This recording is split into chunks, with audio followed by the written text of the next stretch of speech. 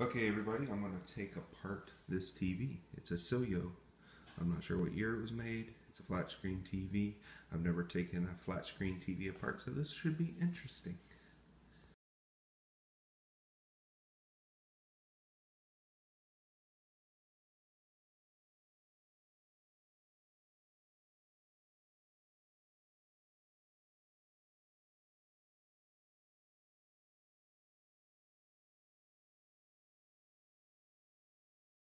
Okay, the interest, the inside of this TV is pretty interesting. So I'm guessing this is the board that goes to the LED, uh, LCD screen or LED screen on the front. Got some pretty heavy duty heat sinks.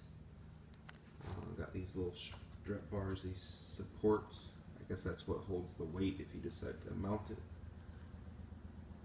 This is the board to all the audio in, video in ports on the bottom here. We got two speakers, which I'm always excited about speakers. And I'm not sure, I guess this is the receivers and the uh, connections. So yeah, this I guess this does all the work and sends it to the graphics card, which sends it out to the screen. And then this actually sends it into the processor. So yeah, interesting. I'm gonna take it apart. We have some a few decent boards to pull out, and uh, yeah, let's do that.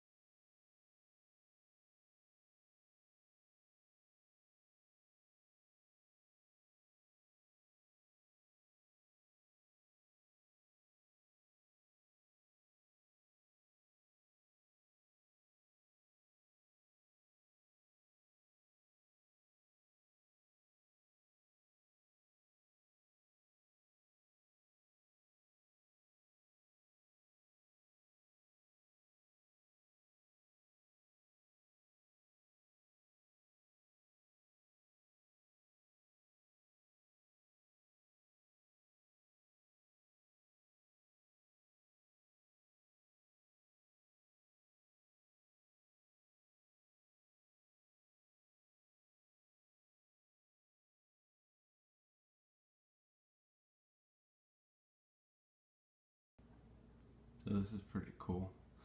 I'm gonna have to get the uh, macro lens so I can show you the LEDs on here.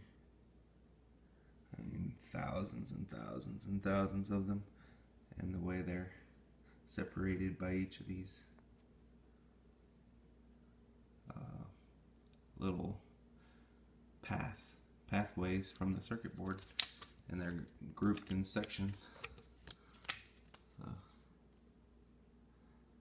Yeah, this is pretty interesting.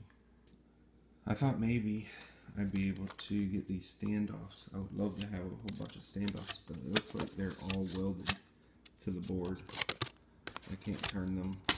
I might be able to peel off this monitor, but I'd hate to do that because there'll be a lot of glass everywhere.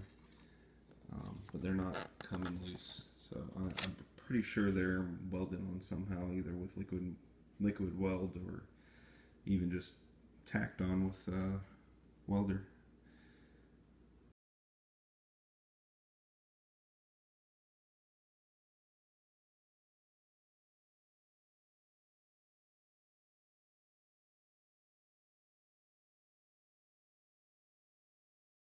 Alright, so I got a good bit of interesting circuit boards. A lot of capacitors. I mean, really like that coil. I uh, really like these heat sinks. There's a bunch of heat sinks, a bunch of regulators in here. So those will probably all come out. This was the push button for the on-off switch and the volume and so a bunch of push buttons on there. I don't think I need these, but it's a neat little strip.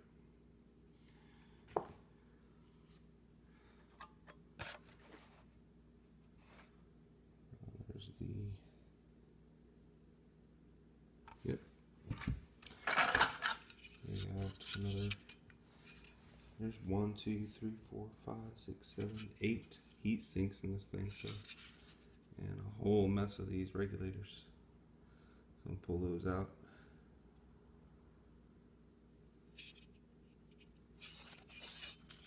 Pretty big capacitors. Some really big ones in this one. Huge capacitors in that. Look at the dust on those.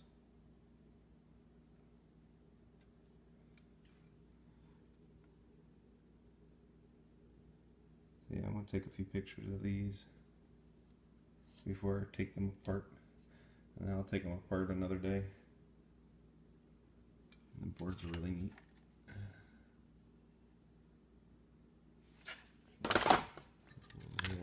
Two more speakers. This was the bottom strip, I guess the cross controller. I'm Not sure what they're called.